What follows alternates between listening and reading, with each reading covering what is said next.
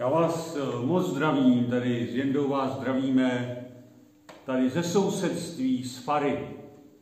Já se usnažit, budeme se snažit mluvit tak, abyste nám rozuměli. Tak. Snad se nám to podaří. Moc nás to, mě teda určitě a i Jendu taky, nás to moc mrzí, že tam k vám teď nemůžeme chodit. Jo. Ale chápeme to. Jo. Těšili jsme se, že vás před Velikonocemi navštívíme, že třeba budete moct taky uh, se vyspovídat, nebo že by mohla být i mše svatá, ale bohužel to nešlo. Ale to neznamená, že bychom na vás nemysleli. Pamatujeme na vás moc a moc v modlitbách.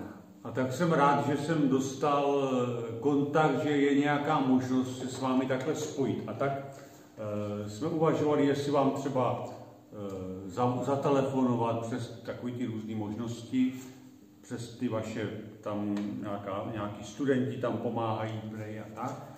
Ale pak e, nás tak napadlo, že také na poprvé zkusíme takovéto video, jo?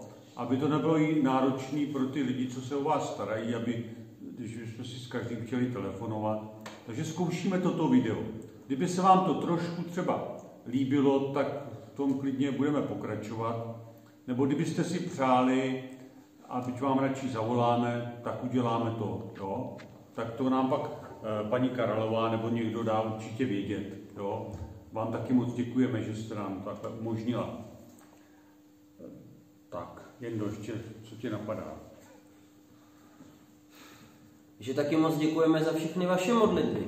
To, jo. to že jste třeba teďka takhle odříznutí, tak to neznamená, že by e, Pán Bůh vaše modlitby za nás, za všechny a na všechny na které myslíte, že by je neslyšel. Naopak, myslím si, že vám je teďka o to blíž, takže díky. No, a vy třeba nemáte takovou možnost slyšet, vidět nebo číst. Někdo možná jo, třeba někde na televizi nové třeba. Ale papež František vás taky moc takhle na vás, na všechny myslí, kdo jste tady v těch domových důchodců zařízení. A moc, moc na vás myslí a ví, že to je pro vás těžké, když vás nemůžou navštěvovat vaši blízcí tak, tak věřte tomu, že, na vás, že, že je s, váma, s námi takyhle se všemi spojen. Jo. A mě napadlo takový příběh, vždycky, když jsme tam u vás měli bohoslužbu a byl třeba nějaký příběh, tak jste většinou dávali pozor. Po vás to třeba...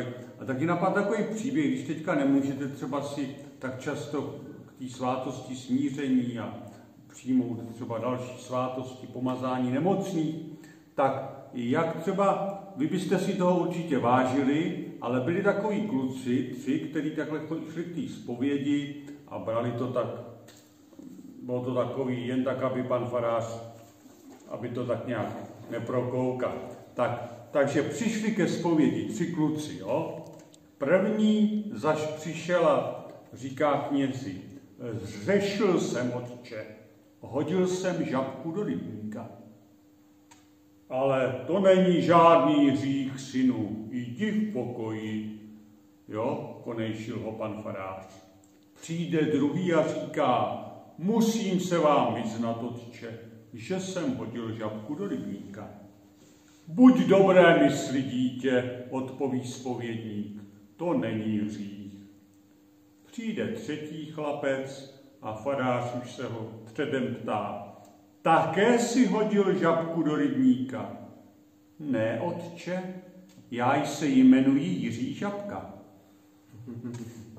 Takže, jo, ty kluci, tak jako ten pan farář to neprokouk, jo, ale vy víte, že takhle to o tom není a tak já jsem vám tady tím příběhem tak chtěl povzbudit, abyste si, nebo chtěli jsme vás povzbudit, aby pokud třeba něco máte ve svém srdci, tak si to můžete říct teď takhle prostě Bohu v modlitbě a až to bude možný, tak vás prostě navštívíme. Jo? Pak taky jsem vám, možná jste to už zapomněli, a některým jsem vám říkal, že budeme mít tady s Piotrem, co tady ještě Jáhen, že polský, že budeme mít v květnu kněžské svěcení. Nebudeme mít, jo. Taky se to všechno mění, takže prosíme o modlitbu a dáli Bůh, Kněžské svěcení bude v sobotu 27.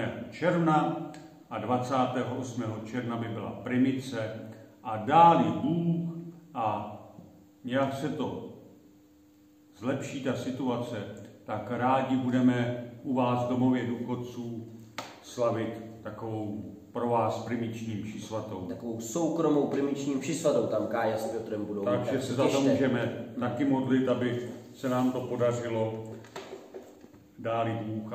To je tak pro dnešek z mé strany všechno, jen do...